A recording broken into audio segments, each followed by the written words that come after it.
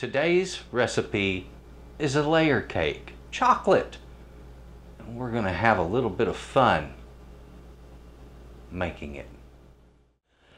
Today I'm gonna be getting in the kitchen and making a big, beautiful chocolate layer cake. Yeah, gorgeous. Before I do that though, there is something I want to show you and something I want to mention. In the description boxes for my videos, I've started putting links uh, to my website. Not all of my videos have them yet, but many of them do. A whole lot more coming soon. We'll have them. I have um, I have one of those printed out right here I print out all of mine, and that way I can kind of proof them and make sure they look right on paper. And I'm using uh, just a simple glossy brochure paper, the cheap stuff, you know, you get in an office supply. And printed it out like this. And uh, so I get an excellent recipe. And this is just an open page to one of them. Some of them are two pages, some of them are four, uh, and some three, you know, and they're laid out with smart instructions that are numbered smart thinking, and uh, some place in the back at the end for you to write, to put some notes in, for you to write in your own notes for changes and things that you want to do. So really cool recipes and worth your time to look at. Uh, they're 25 cents at the moment and uh, don't know what that'll change to in the future, but who knows? And I might be doing some compilations like um, some uh, PDF books. Anyway, let's talk about this. This is chocolate cake. We're going to be getting in the kitchen in a second and cooking this up. Now this is a basic two layer chocolate cake and I wanted to do a very basic, just two layers to show you basic cake making. Now later on we're going to get into some big cakes. Let me show you what I'm talking about. So you see this big this big honking four layer cake here that's got all of this this this basket weave on the outside and everything uh, and I was using a really tiny basket weave tip, trying to do like a micro basket weave, and it was quite complex. And um, there's there's a lot to doing a cake like that, and it takes a lot of patience. And so the thing of it is, is I'm going to get into that kind of stuff a little later on in this series. And that was just me practicing up because I was way out of practice. I'm decades out of practice on this. So I had to practice up a little bit. Today you're going to see a simple two-layer cake. You're going to get a chance to make this. The fillings, you're going to learn that you can make this stuff whatever flavor you want. You can make it rum, coffee, chocolate, orange, lemon, peppermint if you would like. If you want it, you can make it hazelnut or almond. There's so many flavors you can make that buttercream in between and on the outside. We'll get into all of that. This is going to be a whole new series for season six Texas Cooking Today goes baking. Come on, let's get in the kitchen. Let's cook this up and have us some delicious cake. Come on.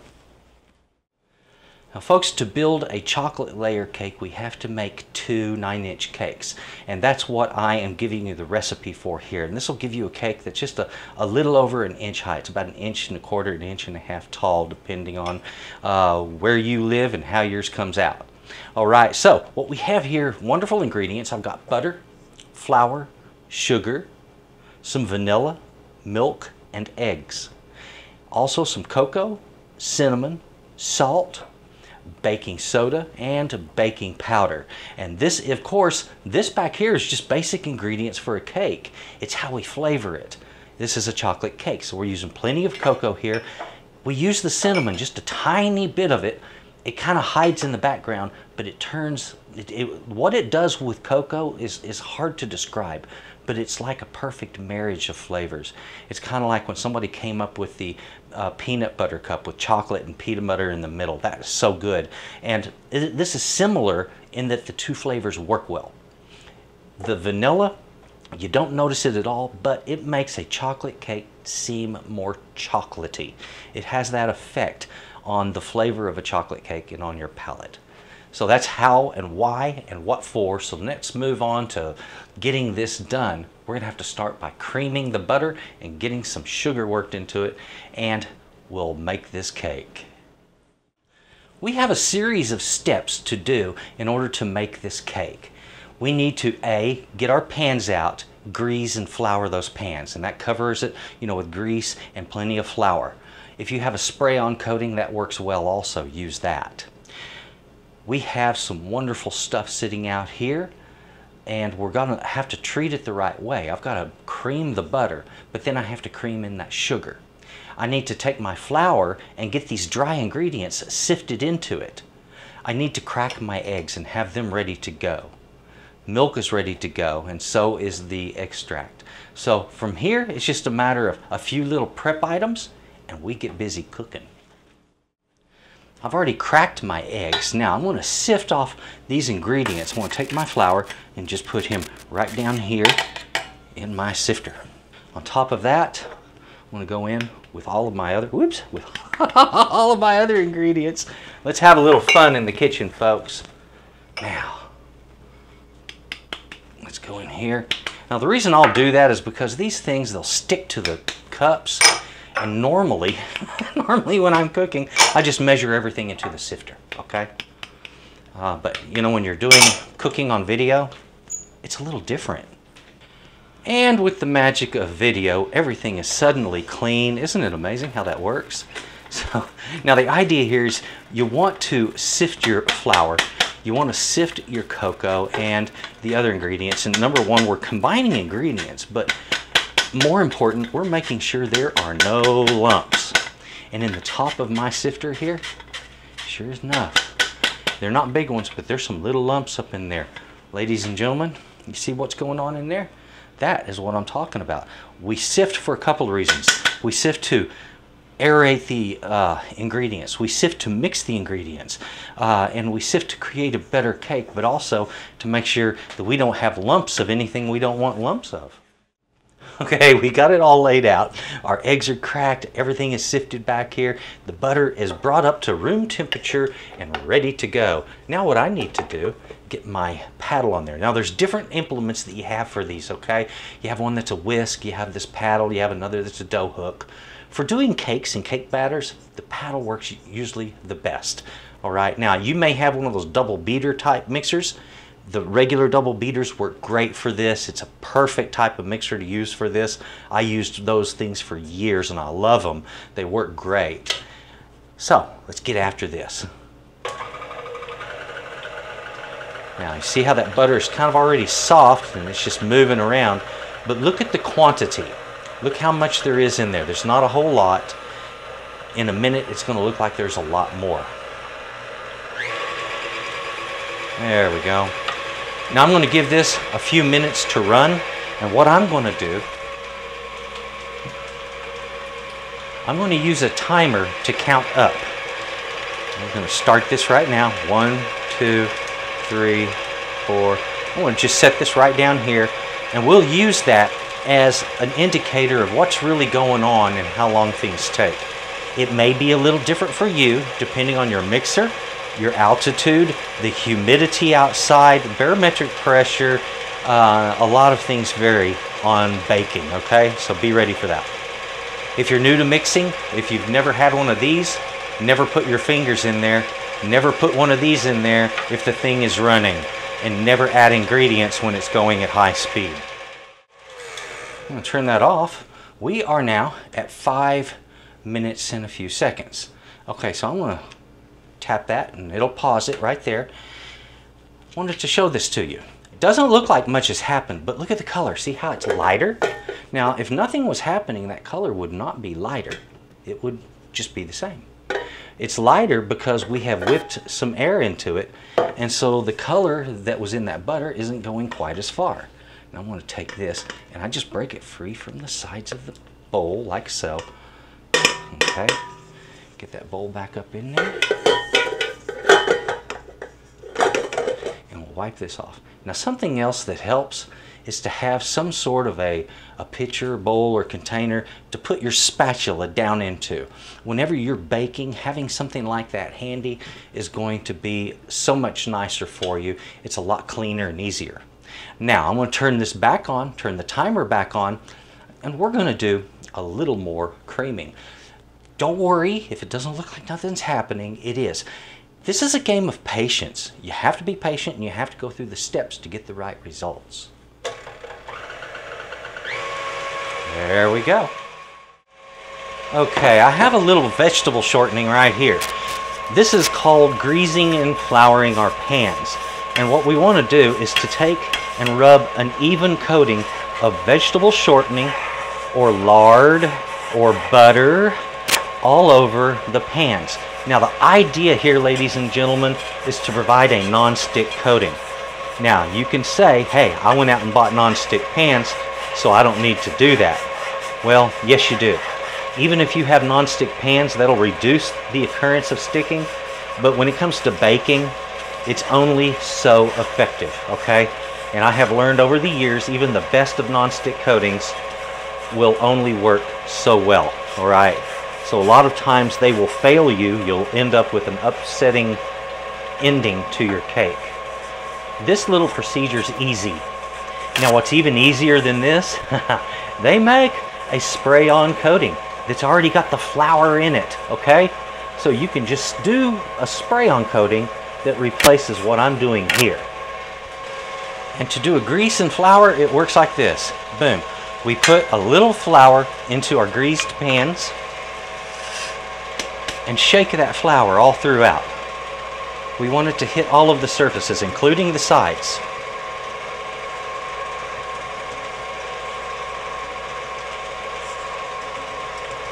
And when you're finished, go ahead and pour out the flour, but there may be some stuck, so simply tap it out. That is a greased and floured pan, and a cake will not stick. let's turn him off again. This is 926, so we've been almost 10 minutes worth of work here, okay? So let's take a look at this. And you know what, like I said, it can be a little different for you. It could the butter may cream up faster for you and it may have to do with a lot of other factors. But look at this. Look, we now suddenly have considerably more butter. Whoops, Making a mess. Considerably more butter than when I started. Some of it's now on the outside of the bowl. Alrighty. I'm going to take this, now that I have just about doubled it in its quantity. See how I'm running a slow speed? Now let's, while we're running a slow speed, gently add in a little of our sugar at a time. Don't be in a rush about this. Again, baking is about patience and going through the steps the right way. We took the time to cream our butter until it got to the right consistency. By the way, my timer's still running. A little more. I'm adding in, oh, I would guess somewhere around a, a quarter to a third of a cup at a time. Okay, all of our sugar is in. Now that the sugar is in, I have to cream it all over again. So, I'm going to turn this thing back up and let it have at it. Okay, we'll let that run for a bit and take a look at it in just a few minutes.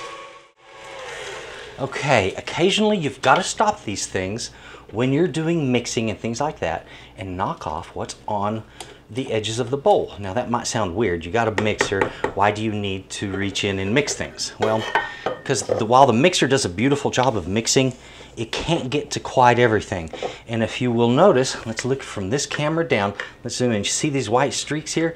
That's just plain butter that didn't get hit, that was against the edge of the bowl there, all right? So we don't want any of that going on, and there's a little bit of it, so we do this, and this, this stops that problem altogether.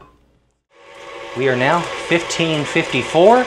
And we're going to keep running this until we get a nice, smooth, creamy consistency. Let's take a look at what we got. We are at 1947. At the moment, I can already see a difference. All right, right there. This is starting to look a little bit better. I want to feel it. It's still gritty, okay, which is expected.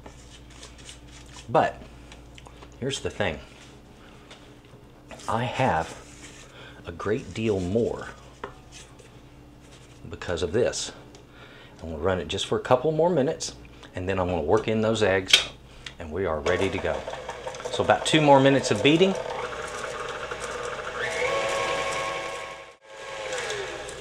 All right, that was it right there. Now, sometimes if you'll notice, see how my beater is up towards the front of the machine? If you stop and your beater's like that, bump it just a little bit, just like that. See, you can work it around to wherever you want it. I like it towards the back and it gives me a little more room to work and get things done, okay? So here's what I have, is I have this beautiful creamed butter and sugar mixture that is ready to be turned into a cake. So we got a, a nice, smooth, creamy consistency here. Um, and if I wanted, I could go ahead and just simply cream that butter until the whole thing is smooth. But on this particular cake, it's really not that necessary. We're using leavening on this cake, and so we're not trying to build our fluff with the egg and the butter. Although we get a lot from that, but we get as much from the leavening that we've put into it. So next thing is eggs, all right? Oh, by the way, our count, we've passed 20 minutes. We're up to 358 on the recount. Next, I want to work in the eggs one at a time, emulsifying them completely. At first, it will look like the egg doesn't want to mix in, like it's just going to kind of uh, make a mess in the middle. But in a few minutes after it mixes, you'll notice how it emulsifies, and we will watch that happen right here. Right, now.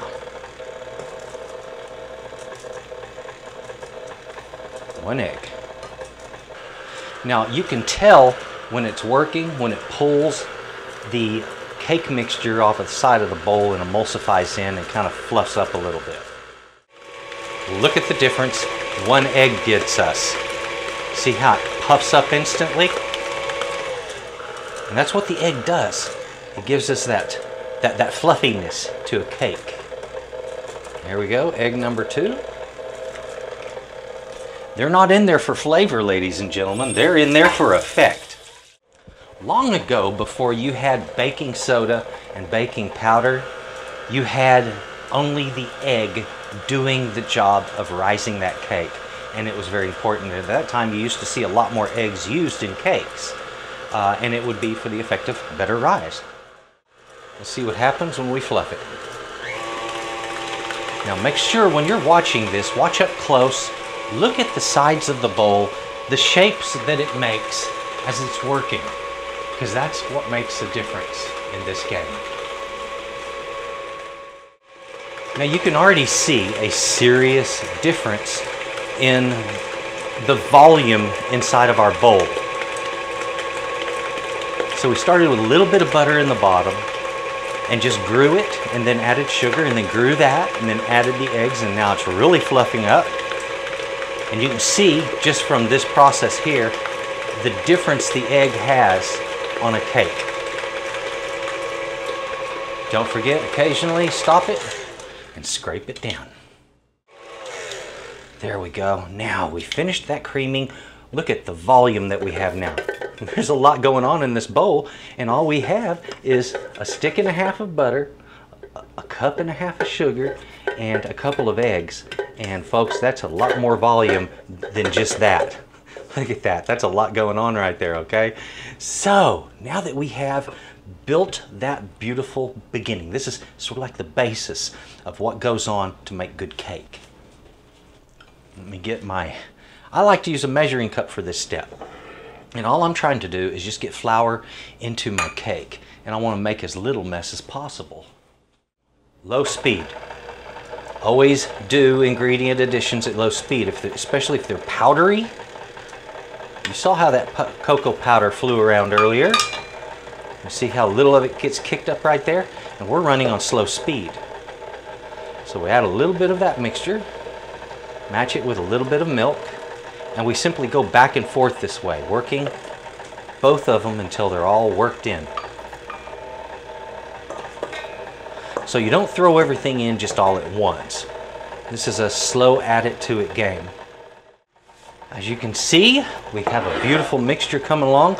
Now this is Mexican vanilla and they don't process theirs the way other folks do. Give it a little bit of a shake at first It's a very smart thing to do.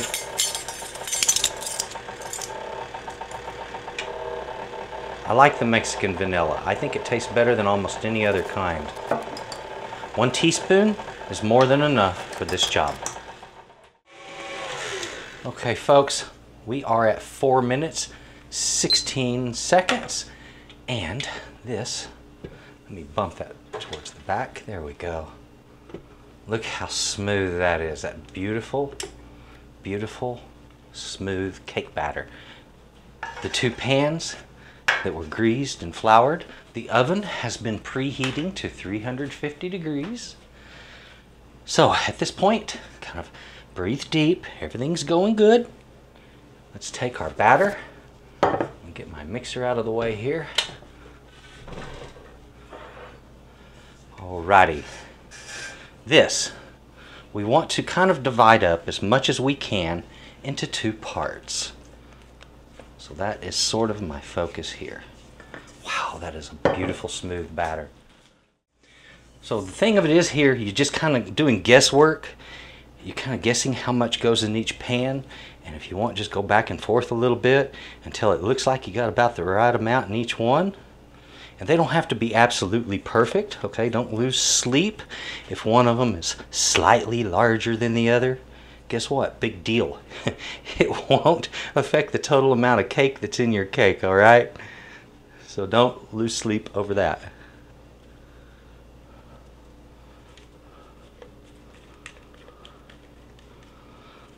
The smell of this batter is already just incredible. The thing of it is, I've had this cake before. It is a really, it's a genuinely really good cake. All right, now here's the thing if we're going to make a layer cake, our layers need to be fairly even. You see this circular motion I'm making from the center to the near the outer edge, about a half inch away. And I'm just working in a circle. And all I'm trying to do is just to get it kind of level, kind of level, not level level. Okay, so there we go. That one's kind of level. We're going to level it in a minute though. This is just getting it spread out because see on some of these, it's not all the way to the edge there, you see. Now the next thing I want to do is I want to set my spatula right on the edge of the pan and over to the far edge.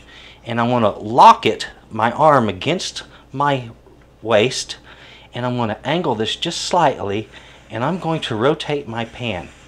And the idea here is to keep the spatula as level as absolutely possible. Now you see right there we have a low spot. Now I know where some of this needs to go to. And I'll do this until I get this sucker leveled out, okay?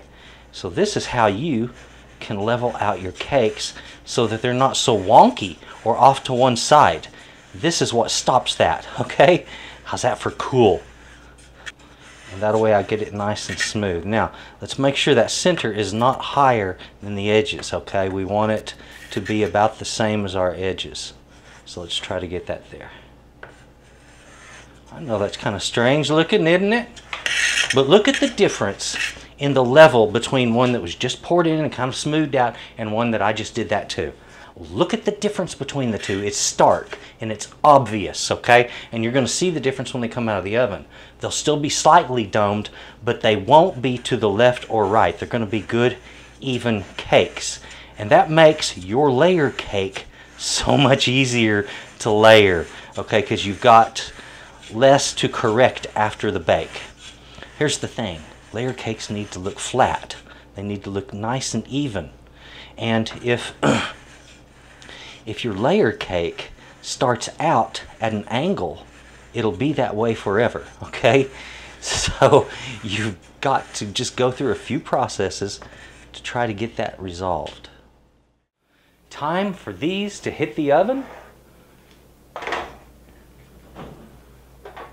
Oh yeah center rack, folks, right there, 350 degrees. This is normally taking around 20-25 minutes. These have just come out of the oven. I've set my timer for 12 minutes. After 12 minutes, I'll flip them over and turn them out of this pan. Now to do that, simply put a plate or another one of these racks, what they call a pan rack or a cooling rack over the top of it, and then just hold the two together, flip it over, and that will come right out of that pan. Now, don't let these cool in the pan, all right? turn them out after 12 minutes. Don't wait for 20 minutes or they're going to start sticking again. Here's the problem. When you've cooked a cake, you know, of course it's got sugar in it. The sugar got really hot. It liquefied. Some of that sugar, which is on the outside of the cake, is trying to stick to the pan. Right now it's still too hot and soft and it can't do that. And if we will turn it out when it's early, then it'll release because of the uh, coating we put on it. But if we allow that sugar to solidify against the pan and harden, it won't come out quite as easy. Now if you notice these are coming coming down a little bit and they're starting to flatten just the way we wanted them to do. And that was from the way we shaped them before putting them in the oven. These have had 12 minutes to cool. I'm going to invert them. Now, sometimes these things can be really hot. Depending on your cake pan, you might want to use a hot pad underneath it. Let me feel mine. I think I can get away with this. Just flip him over. There we go. Very gently lift that off. There we have it. Okay, number one is done. We got cake cooling. Oh, yes, sir. Now, let's take care of doing number two. Right here. There we go.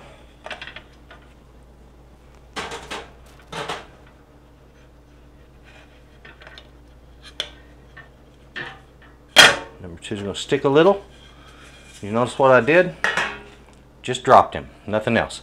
They're a little sticking on the edges and one, one side, and that is where, simply put, I didn't grease and flour it just well enough. And that's the difference it'll make. These little tears like this aren't going to make any difference in our finished product. We just don't want to let this cool and have a huge torn out section in the middle. That would affect our cake.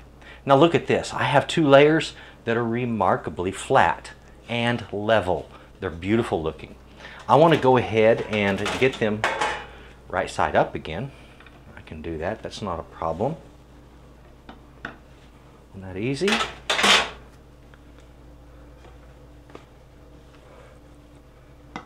There we go. And that's the advantage of having plenty of those little, what they call pan racks hanging around. Lots of those will help you out. Now, up here was where we see the worst part of our cakes, and we got some unevenness here. Nothing major, nothing that buttercream won't cover. Most of the time, you end up having to take a knife and cut this. And I'll show you later how you do that anyway, in case yours domes or something like that. But as you can see, working the batter out, getting it smooth, and suddenly the cakes take on the right character and appearance. To make a buttercream, buttercreams. Look, there's more than one kind of buttercream. You're going to hear all kinds of fancy names for buttercream.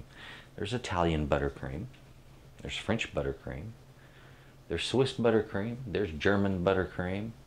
Oh yeah. I think there's even a Dutch buttercream, if I remember right. There's American buttercream. Uh, there's lots of different ways. Uh, for instance, you know, like the, the French buttercream um, is the favorite of a friend of mine. She's a pastry chef, does a beautiful job. Uh, she likes to make the French buttercream. And it's about making a simple syrup and making sure that syrup is at just the right temperature. And when it is, you beat it into egg yolks that you've already made frothy and light. And slowly beat it in, very gently drizzling it in. And then as it comes up and it fluffs up nicely, you then add and work in your softened butter and you have a French buttercream. You know, I see this the way I see ice cream. Here's the thing. French ice cream has eggs in it. You have to cook it before you can chill it. American ice cream is just, nah, just take the cream, sweeten it, flavor it, and chill it down. There's your ice cream. Keep it simple. Sometimes the KISS method works, and sometimes it's really good. Let it come to room temperature. This, ooh, no, that's still a little bit cool. If it feels cool and it's firm, yeah, no, that ain't ready. That has to warm up a little more, and when it's room temperature and nice and soft, then it's ready to be creamed, not until. We're going to be working in our sugar. I need to take my sugar and sift it. This is important. Sift your sugar. Get it done now. Have it already sifted. It's that simple. Take a pound of sugar, pour it into the sifter, sift it out, boom, you have sifted sugar. You're ready.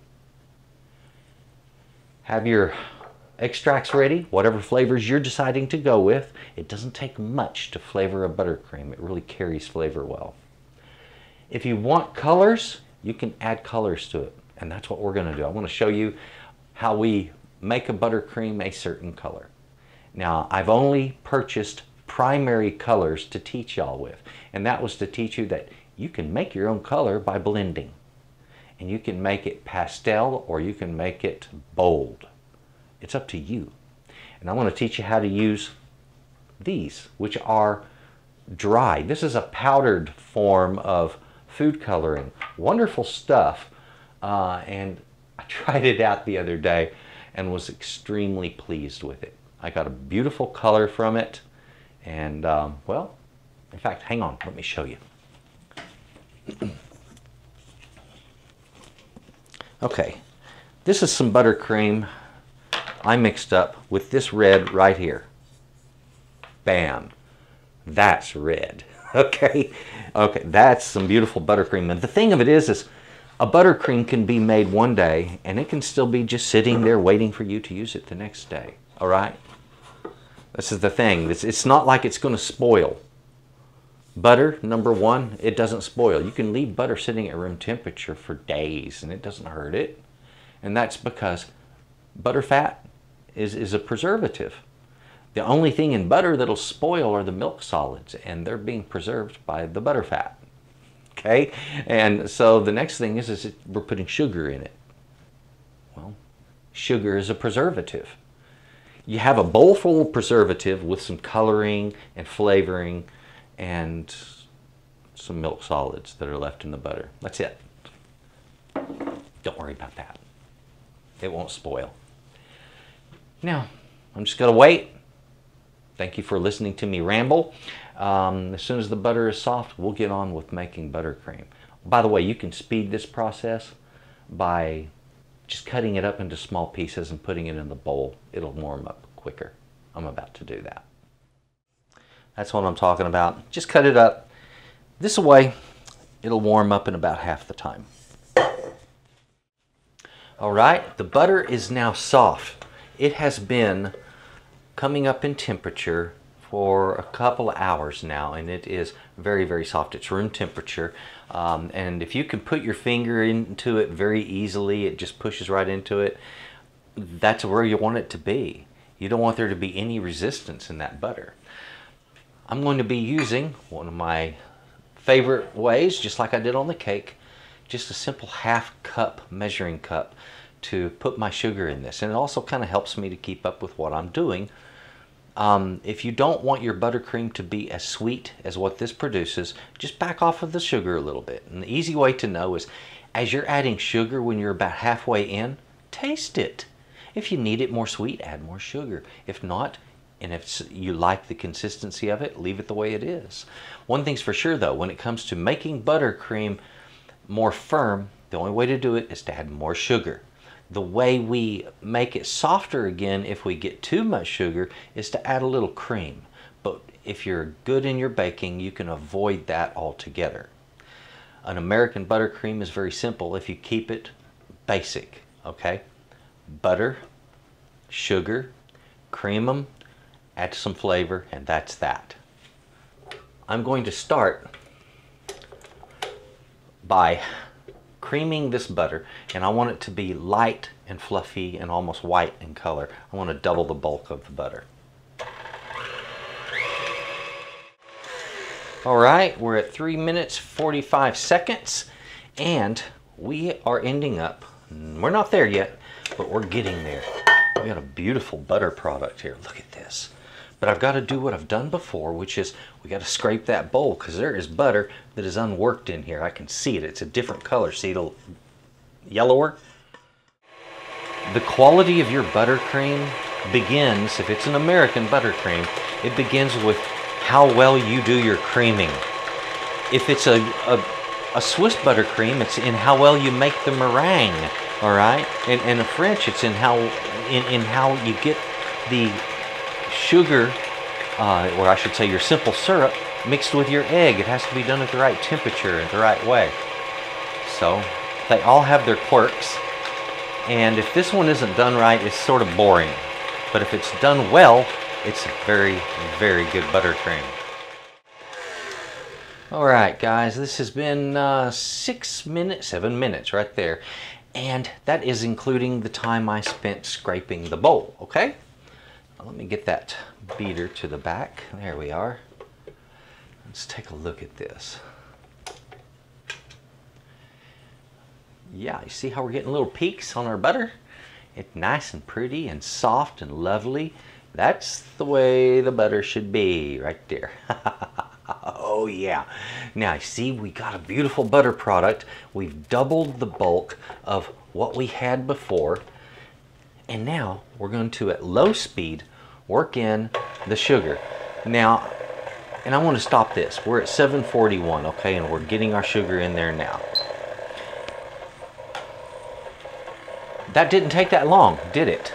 Okay, and then we're going to cream it a little more in a minute when we get the sugar in there. But it's not going to be as long. This, take your sugar, the same way we did with our cake mix. There's no rush here. Just put it in one cup at a time. I should say uh, half a cup. And come up just one notch. Now be careful. If you're going too fast when you add something like this, it can create a dust cloud. All right, as I've told everyone in all of my videos since day one, when it comes to what you're making, take the time to stick a spoon in it and get just a little bit of it. God, that is soft. Get a little bit of this and taste it. You're looking not only for the flavor, but you're looking for the texture, the sweetness level, all of that you're making a decision on whether you're going to add more sugar or if it's time to start adding in the flavors, okay? Let's find out. So just because we start with a certain amount of sugar when it comes to buttercream, it doesn't mean that that's what you are required to use. It just means that that was where the recipe began. You're the one that is in charge of how you make it, okay? Now, this only takes just a few seconds of us running it like this after I've added the final sugar.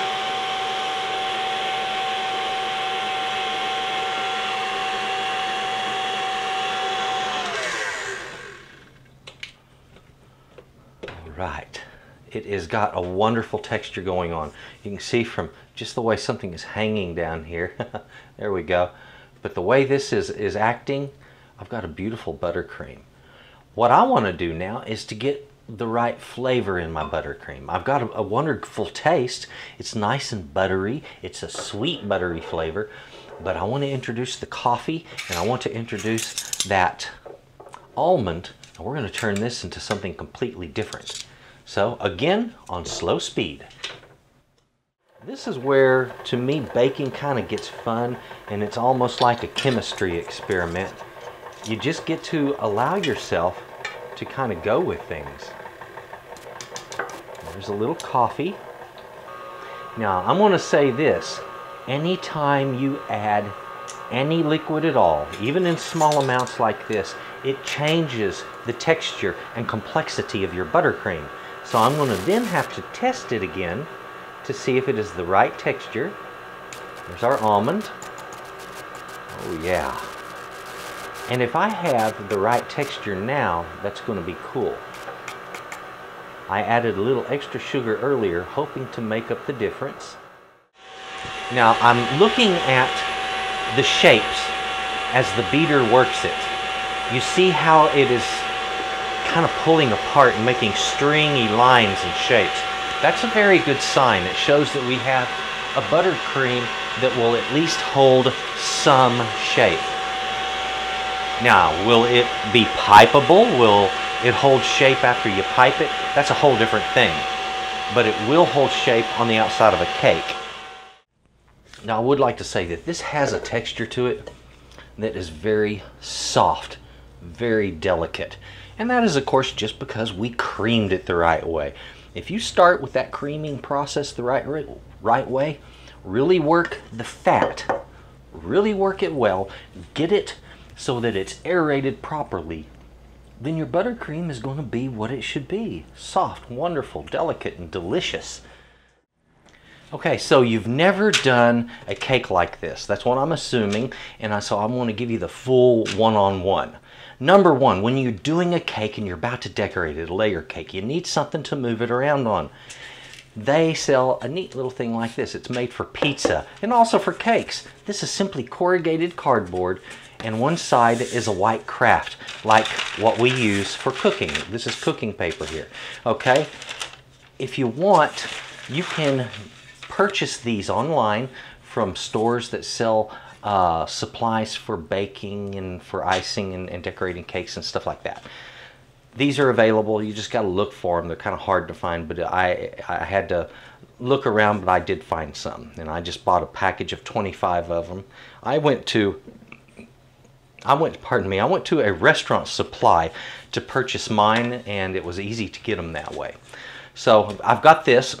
I'm going to be putting a dollop of frosting in the middle of this to keep the cake from sliding around on this. However, how do we keep this from sliding around on that or anything else?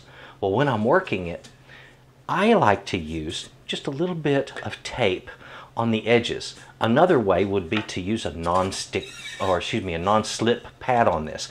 You know, they make like that shelving material that's rubberized that keeps your plates and things from sliding around that would work really well. I find that the tape seems to do it quite well for me, so I just do it that way. Now, something that I want to mention, when you are working with butter cakes and buttercream frosting, you're dealing with a lot of fat there, okay? A lot of butter fat. Well, butter fat has a tendency to soak into paper materials, all right? Like cardboard, like what we're about to use here. And because of that, you're going to want to do something to protect this if it matters to you. Now me, it doesn't matter to me. I don't care if it's a little bit grease stained from the butter because I want to cover this up on the edges with fruit or something like that when I'm finished decorating out the cake. And that way it looks pretty. You can protect it in the interim with some strips of paper just like this. And this is just plain cook's paper. Let me tear this off.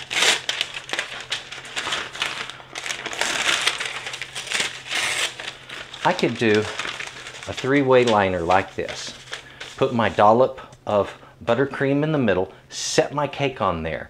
And then when I'm finished working, whatever falls off the side of the cake or makes a mess, I simply pull these out from under the cake and then I'm left with this nice and clean, all right? So that's how you can protect your cake from staining this. And by the way, that fat is going to eventually go through this and still stain that. If you want, you can also purchase these that are lined with foil on top. They prevent that, and they make some that are decorative. They're different colors. Some are gold, some silver. So take a look at what's available. I just like plain Jane, and that's what I like working with. So we have this ready to go. I'm going to put my cake up here before I get busy doing a whole lot with the cake, we want to talk about leveling them. Sometimes when you cook your cake, they don't come out level. Now, you might be saying, yeah, but you just showed us how to level them, and they came out pretty level. They did. They came out remarkably level. But you know what? They're not just totally perfect. Like it has a, it looks like a little bit of a low side there. It kind of pulled down in the middle. And so I would call this a low side. If I were to check this cake, what I would want to do is take my knife, lay it across it, and what I did earlier where I would turn my cake and then end up cutting through, I would do the same thing with my knife except I would just be doing this, okay? And going in a circle. And see how I have it kind of locked in place with that sawing motion. Now see, I've got some crumbs. I would end up with a nice flat top. Now I don't have to worry about that so much because what little variation I have can easily be filled in with, with buttercream. So when it's minor like this, hey, it's not a big problem. It's when you have a big old dome on it or something, you gotta run your knife around it. And what I just showed you, doing it on a turntable or a Lazy Susan makes it really much, much easier. Do yourself a favor, if you can get something like that, do it. These aren't necessary, they simply make life a little easier. Now, so, all right, so there we go. We call that glue in the baking world. Okay, I want to put this somewhere in the middle and I'm going to kind of center it up. So I'm going to move him around for a minute and I'm doing my finger guide here so I know where he's at. And what I'm doing is I'm bracing my arm against my body so it doesn't move and I can just get a good check on whether that's centered or not. And it really is, it's pretty, pretty much right in the center. Now, it's simple enough. We need to get a layer of buttercream on here, get our other layer on here, top it with buttercream, run buttercream around the sides, and then it needs to go in the refrigerator and set up. And the idea is it gives us a firm coat. That outer coat that we're about to put on, it's called a crumb coat. They call it a crumb coat because normally when you do a lot of cutting on these, you produce some of those crumbs like we produced just now, and that crumb gets caught up in the buttercream. And when you're finishing your buttercream on the outside of a cake, you don't want little crumbs stuck in it. So we do a crumb coat, we refrigerate it, and it prevents those loose crumbs from being up into our final coat of frosting. Let's get buttercream on here. Now here's the cool thing. A lot of your work when it comes to doing this kind of thing can be done with a regular spatula. So if you don't have the fancy tools, you don't actually have to have them right now. Look what I'm doing with a plain Jane everyday kitchen spatula. Now here's the thing, I want this inner layer to be fairly thick and I don't think I have enough buttercream to pull that off yet, but I'm about to. Let's see, I got them on the edge there.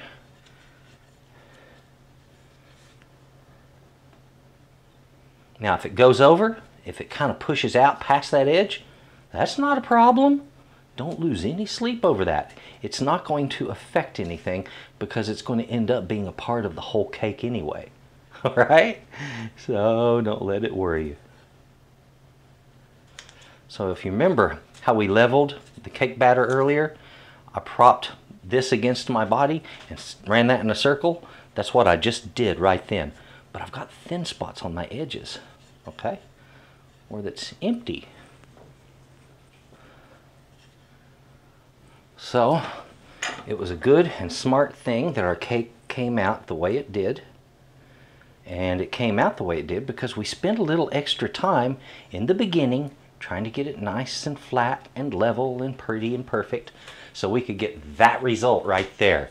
Okay, look at that. We've got us a nice, simple, two-layer chocolate cake busting loose right there. You've seen the first part is just not that hard.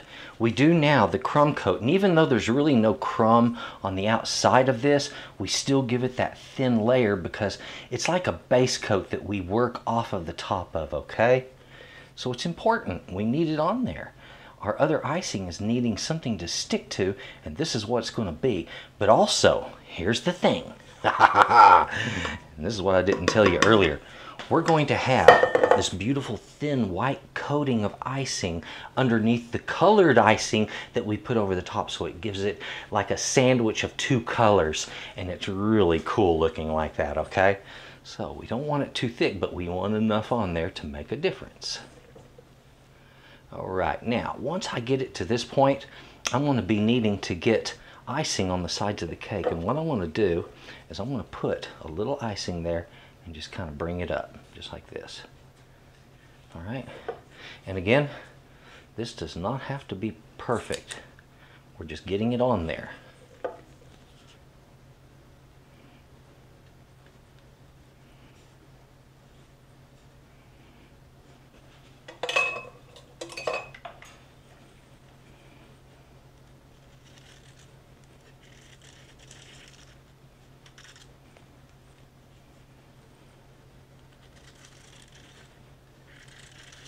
Now if you don't have this particular tool, use the back of a, a, knife or a straight edge. If you have a bench scraper, that'll work perfect for this, okay? Anything like that'll work. And if you got a little corner like that, a little edge that's just not working with you, don't lose sleep over it, okay? There we have it. Our basic crumb coat's finished. Oops, I missed a part right there. As I was saying, our basic crumb coat is pretty much finished. I'm gonna do a little touch-up work on the edges and get it in the fridge. So here's the importance of that cardboard. Isn't that nice? Makes moving this thing around and handling it an absolute breeze. I have my cake in the refrigerator. It is cool on the outside of it now. I have a fresh batch of buttercream over here. Just made that. Now that is a little bit thicker than what we made last. Uh, this has more sugar in it uh, to the tune of, oh, almost half a pound of sugar more. So it's, it's a little bit stiffer. So now it's not quite two pounds. I'm at about a pound and a quarter right here of sugar to the one pound of um, butter. And that gives it a stiff enough consistency to hold its shape and it'll also pull into peaks and stay that way. Right here, coupler and the tip I'm going to use. On the outside of the cake I'm going to do a little simple basket weave design. It is simple, it's easy to do, and I recommend you try it if you've never done any icing. It'll give you a lot of confidence once you've done it. Now this right here is a basket weave tip. It's got the little jagged teeth on the tip there, see? And we want that basket weave tip to leave nice little lines like like uh, well like a basket weave might look like and uh, so that's what we're using this for. Now, two ways we can use this with this bag. I could uh, cut the tip off of this bag, slide this through it, and it will work just fine, just like that. Um, but you want to be careful when you cut. You want just the very, very tip of it to stick through. Um, and that's because you don't want the whole thing to stretch the bag out and cause a blowout where the tip just blows out of the bag. Uh, and that'll sometimes happen if your uh, what you're piping is a bit too firm. All right, so that's that. Now, uh, and that's one of the nice things about these. They're a little less prone to come flying out. However, they're also big. Now, I've got a small bag here, and I wanted to show you, yeah, you can use these big things even on a small bag. I'm going to push it down in this bag nice and tight. I'm forcing it down in there. Okay, so it's tight right now. Right down here, okay? underneath where that, see here's my threads. They start up here, they end right here, and this is where that tip is. And I'm just going to make a simple, simple little mark right there. That's where I'm going to want to cut that sucker. And that's because I want the threads threaded onto um, my coupler, okay? Where I think, what am I, the threads. I want the bag threaded into the coupler threads. I can't speak today. I've been busy editing for several hours and uh, it kind of turns your brain to mush. Okay, so that's not perfect, but I think it'll work. There we go, let's see. All right, so as you can see, and it's kind of hard to see, here's my mark. I cut just underneath it so you could see that it's right at the bottom of the threads. Over here, it's just the thread is just slightly showing, and that's not a problem. All right, so we can take our tip, put it in the other, in the cap right there, and very gently thread these two together. You want to make sure they're firm. There we go. Okay, this is ready to go. Now, here's the thing. Beautiful thing about this. Let's say I want to switch from this tip to a different kind of tip, maybe even a little larger. Not a problem. I've got a coupler on here that handles two different sizes of tips and uh, it handles some of the larger more robust tips that can do some big work all right so there you have it um, this is a big cake decorating type tip not so much for like cupcakes or anything like that now on the outside of a basket weave I think personally I think that uh, should be kind of a brown color. So let's see here. Do I want red or green first? I guess it doesn't matter, does it? I'm going to wash my spatula in between uses. Okay. There we go. Now, see what I have there? And that's really not a measurement. It's not even enough to weigh. It's, you know, a portion of a gram, I would say, maybe uh, a quarter of a gram to a half. I'm guessing here, only by the quantity that I've removed from the jar. All right, I need to clean this so I don't corrupt my red. There we go. And that's something that's important. Don't just go dipping right into the next thing because it, it will. It will affect, one thing will affect another when it comes to recipes like this. Okay, a similar amount of red. Got my beautiful buttercream here and a nice spatula. Let's take that spatula and work this stuff in. At first it'll seem a little wonky, but it will become the right color.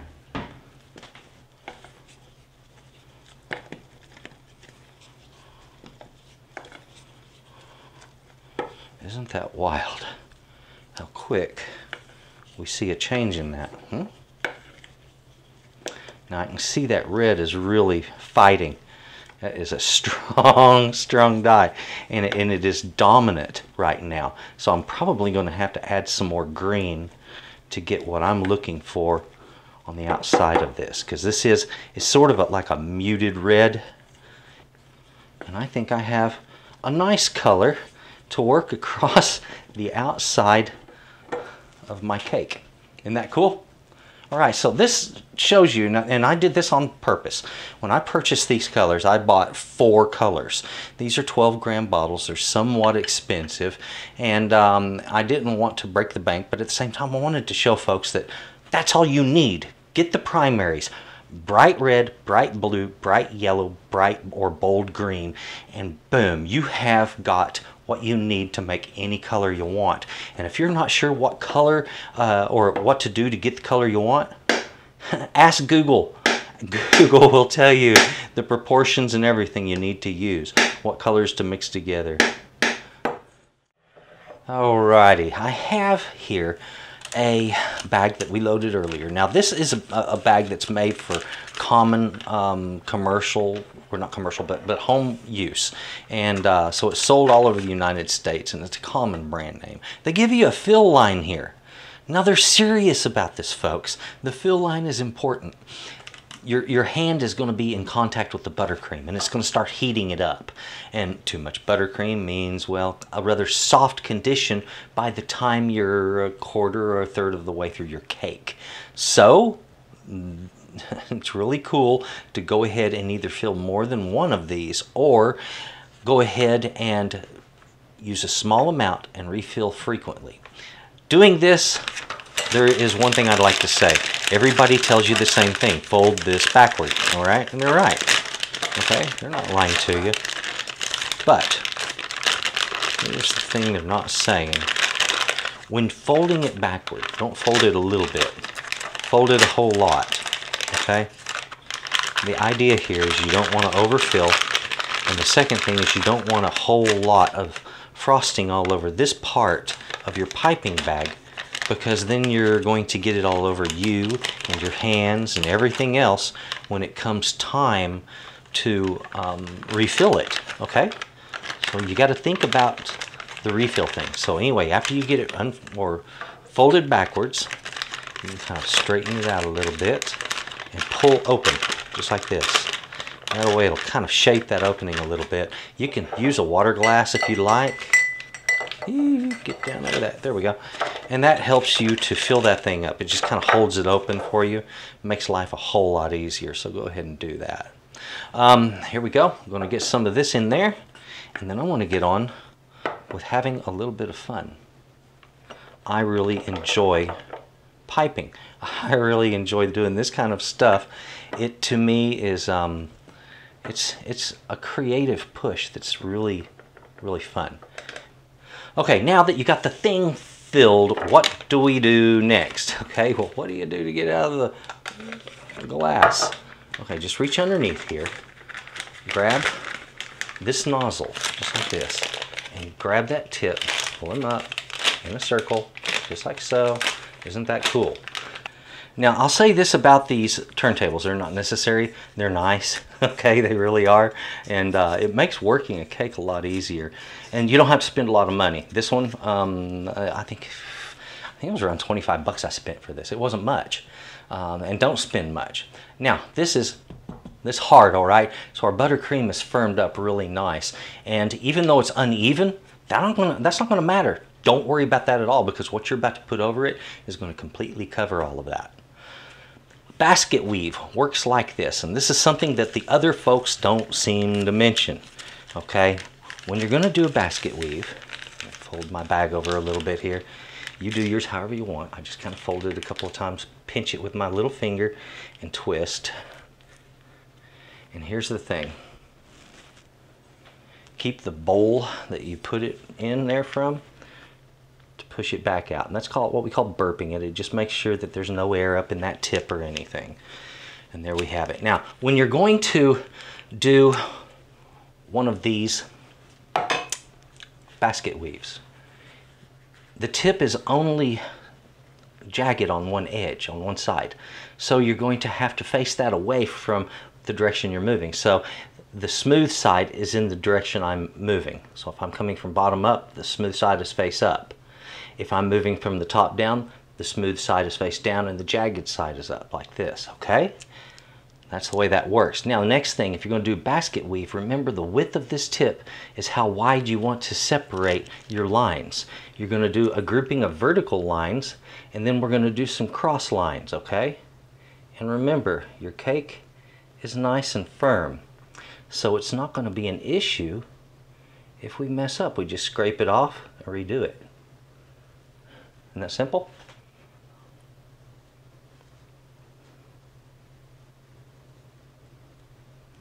And like I said, it doesn't have to be perfect. Perfection is not a part of this game. It's just have fun. That's a part of the game right there.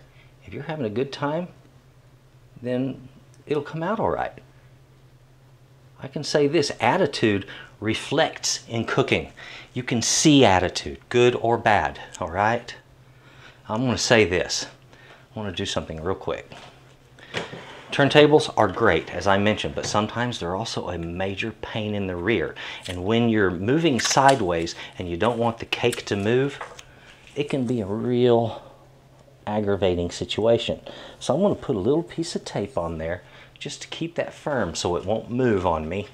And then remember, here's the jagged side. I need to move away from that. I want to come over the top here. All right, just that simple. I want to skip one, come over the top here, done.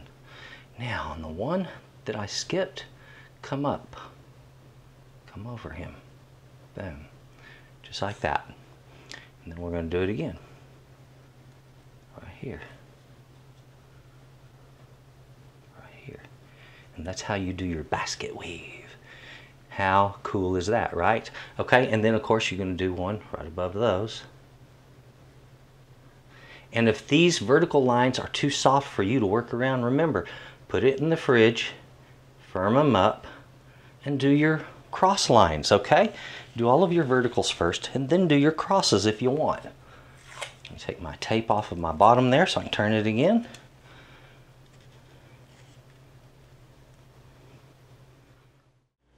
My buttercream is a bit soft, okay? There's a couple of things I can do to firm it. One, add more sugar. Two, cool it down, refrigerate it just a little bit. All right, we have the basket weave finished up.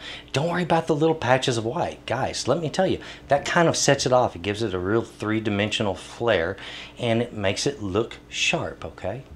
So it's cool. It's one of the things that's really helping that to pop. Now, I'm going to put this in the fridge. To cool it back down again. And when I'm done, we're going to do another decoration on the top. And that's going to be a series of flowers, okay?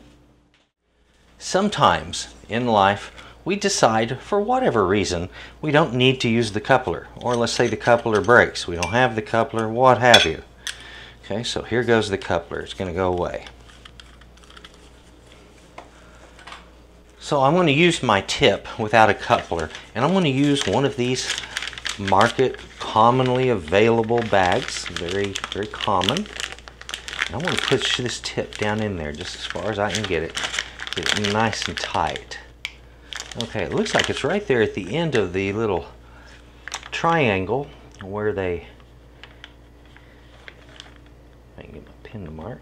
There we go.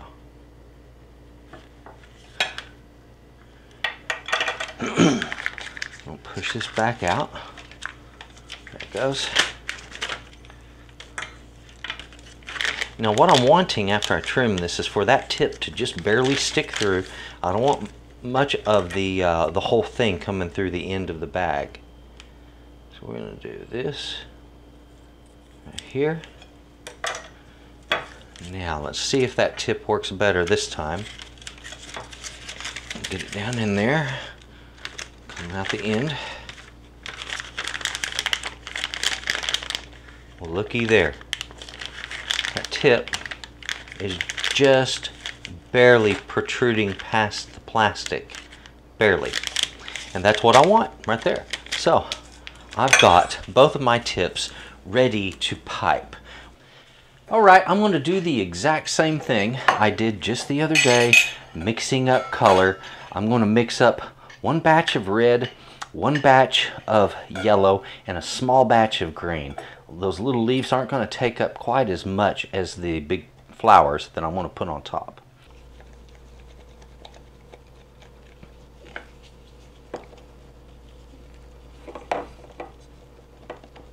My colors are all mixed up and ready to go in the piping bags. I'm going to be using the green in my uh, canvas bag since I've already got the right tip on it. And the other two bags have my Russian tips. I'll be using the red, yellow, and those. I'm not going to bother with the green right now. I'm going to do my red and yellow flowers, as many as of them, uh, excuse me, as many of them as I can get on there before I start having problems, and then get it right back into the refrigerator to firm up. Every time you put it in the fridge, it makes this stuff hard and it's easier to work other things around it. So when I go piping in leaves around these, it's less likely to bump them and cause problems. I've just pulled my cake out of the refrigerator and again, nice and hard. Uh, that's the neat thing about this. And if you know, we had such soft buttercream on the edge on this brown and I wouldn't be able to touch it like this earlier. And back at room temperature, once it warms up and it gets soft again, I won't be able to then. But now with it cold, it's workable.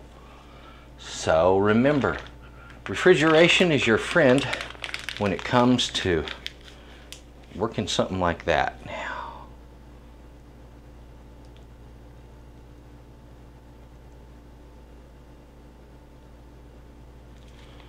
okay, squeeze and pull straight up then release and keep gently pulling. Okay, so this was what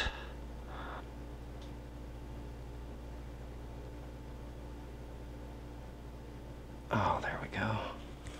Every once in a while, if they want to be problematic, just give them a little coaxing, okay? Now, I want to move over the amount of space that a red one might fit. We'll drop another yellow. We'll do another yellow right here. I'm going to squeeze a red one right in between them where it's too narrow. Okay. First, red one here. Come on, let go.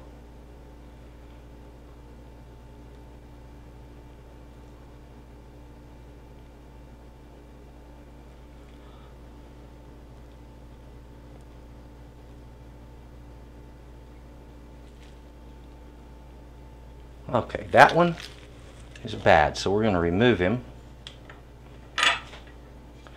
And occasionally, if something like that happens, it happens. Don't lose sleep over it, okay? Simply remember that sometimes things go awry. It's a little less than perfect, and it's fixable.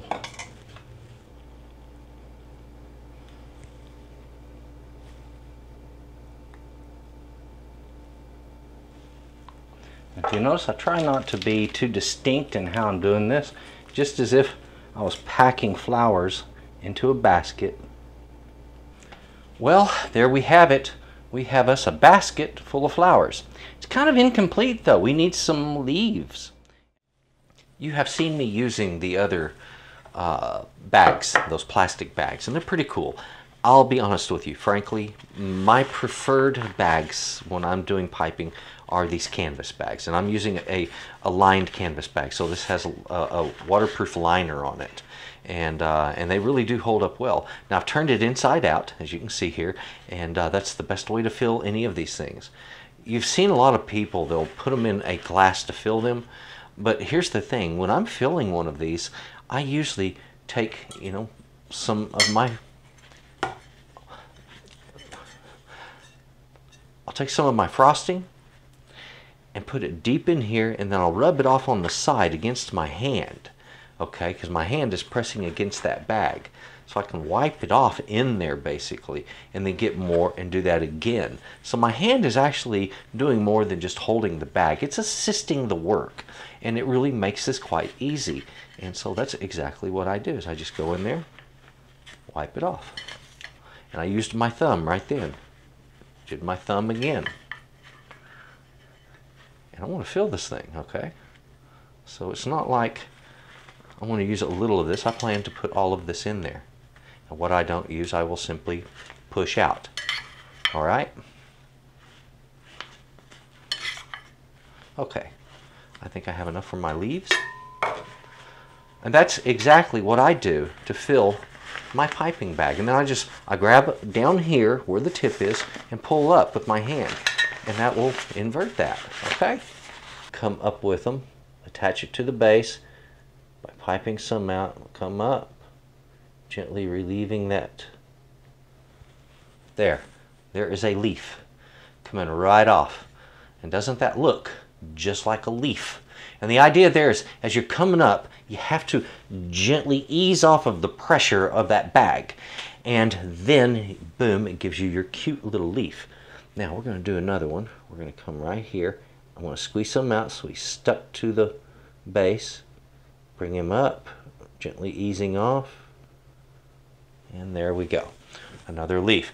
Those little, uh, if you shake a little bit, that doesn't hurt. It makes it look real, okay? It's, Mother Nature is not, uh, doesn't have a lot of symmetry in it. It has a lot of randomness. And, and if, you, if you play on that random, randomness, you're, you're working with it, okay? That's, it's a good thing. Don't, don't worry about that.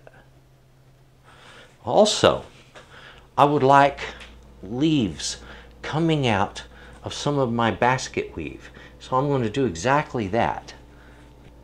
There we go. Leaves sticking right out from in between the layers of the basket weave. And isn't that cool? Remember those little gaps that we had before?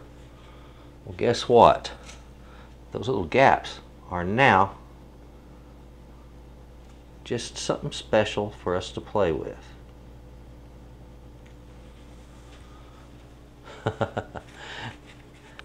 so I guess that's, uh, what do we call it? Chocolate cake?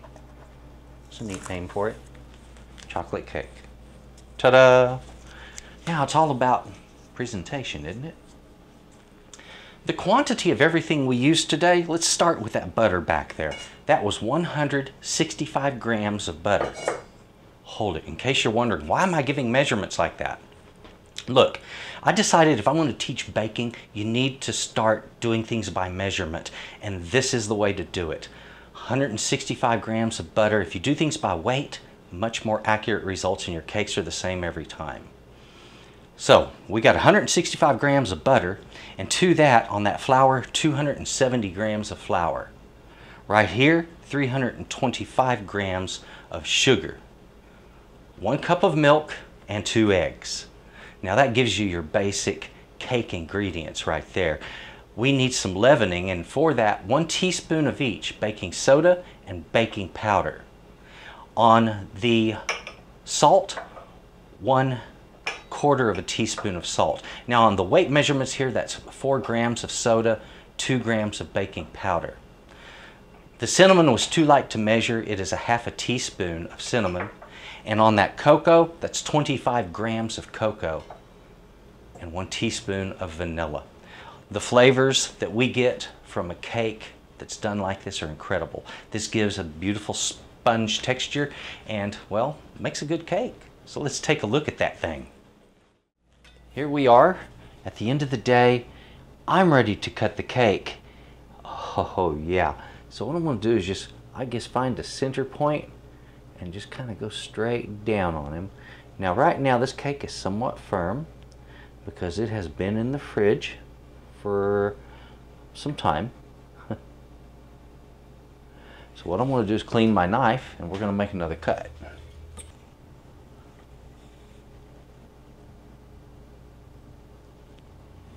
All right.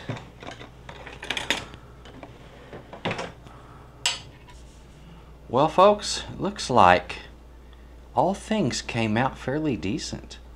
I can't complain. Got a cute little cake. It's been a long day of cooking. And it yielded a most magnificent slice of cake. Beautiful, delicious. The detail on it, the detail is all there. Every bit of it. The flowers themselves, See inside of them there? Huh? Those layers, gorgeous. Folks, that's Cake 101 for you right there. Uh, we're going to have some other cake recipes this season too. okay? Anyway, let's, uh, and I have this still a little bit chilled, and I kind of want it that way. Mmm. man.